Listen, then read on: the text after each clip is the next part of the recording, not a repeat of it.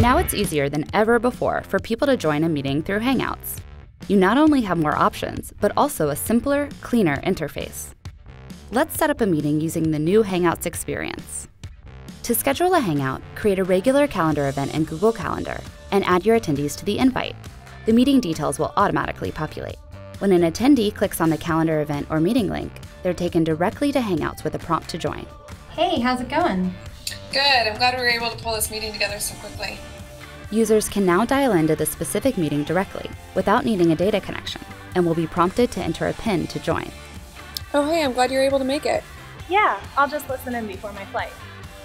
Hangouts is continually expanding the capacity of meeting sizes and now allows up to 30 separate devices at a time. You can see the participant list by clicking on the right bar. I'm going to ping the agency and make sure they have the meeting link.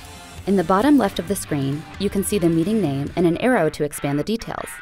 Hit Copy Info and Share.